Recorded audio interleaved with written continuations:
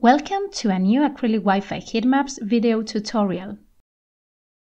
During an active network analysis, Acrylic Wi-Fi heatmaps is not only on listening mode, but also interacts with the surveyed wireless network. Actual latency, bandwidth, packet loss, and roaming are measured by sending and receiving data packets. Therefore, this study is the most appropriate to measure the user experience. Two wireless cards are needed to perform an active survey. The first one is used to perform a passive survey and can be selected from the main menu. The second card should be connected to the surveyed network. This adapter transmits network data packets to measure real-time latency, bandwidth, packet loss rate, and roaming. Site surveys are passive by default. To also perform an active survey, it needs to be enabled. From the main menu, select Active Survey. Bandwidth is the network's data transfer rate from the access point to the connected client devices, expressed in kilobits per second. The higher the value, the faster the data transmission. Acrylic Wi-Fi allows to measure a network's bandwidth in two different ways. The first one by downloading a large file while we move around the facilities.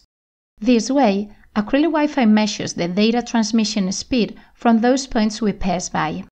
To do this, we must enter the link to this file in the URL field. However, this method is not as stable as using iPerf, the recommended way to measure bandwidth. iPerf is a software specially designed to measure network bandwidth.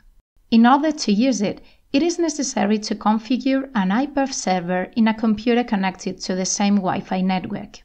The device running Acrylic Wi-Fi connects to this server and measures its bandwidth during the site survey. This is the recommended method, since it is more reliable than downloading a file. In the Acrylic installation folder, there is a subfolder called iPerf, that contains a copy of this software. We must copy the iPerf folder on the computer that is going to act as the iPerf server. To configure the iPerf, we must follow these steps. Verify the IP address of the computer where iPerf server is located.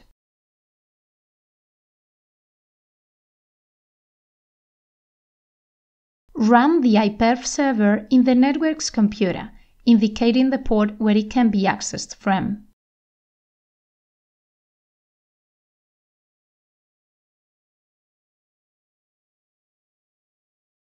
And enter the server's IP address and port in Acrylic Wi-Fi heatmaps.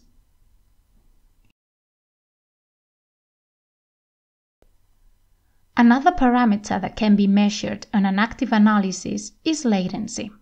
Latency is the time it takes for a data packet to reach its destination and come back, expressed in milliseconds. In general terms, the shorter this time interval, the better. However, the impact of latency on the user experience greatly depends on the intended Wi-Fi network usage. For example, on networks supporting voice-over Wi-Fi services, latency is a key parameter to avoid audio interruptions and delays. Therefore, values of under 100 milliseconds are usually recommended. On the other hand, recommended latency values for Internet browsing are generally higher. Values of even 500 milliseconds are acceptable and do not pose a negative impact on the user experience. To measure latency, Acrylic Wi-Fi sends a ping to an IP address within the same network. This is usually the gateway's IP address, although any network device's IP address can be used. To do this, the selected IP address is entered at the latency configuration options. When performing a latency analysis, packet loss rate data is also collected. This rate shows the relation between the number of packets resent because they failed to reach their destination and the total packets sent. The higher the packet loss rate, the worse the network's performance. In other words, values under 10% are acceptable and do not significantly affect the performance of most of the communications. During an active site survey, roaming data is also analyzed. For extensive areas, several access points are usually deployed in order to provide a reliable Wi Fi connection from every spot. In order to ensure a stable connection and avoid interruptions, client devices need to connect to different access points while moving along the covered facilities. This ability is known as roaming. It is interesting to analyze roaming data to identify the access points a device is connected to depending on the area it is located at any time. Once the active survey is configured and enabled, Acrylic Wi-Fi starts the data capturing process and measuring is performed the same way as in a passive survey.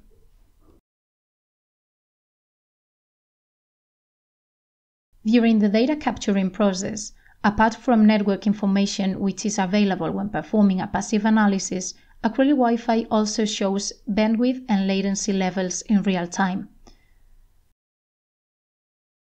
After the data capturing, the software generates different plots to help analyze the active site survey results.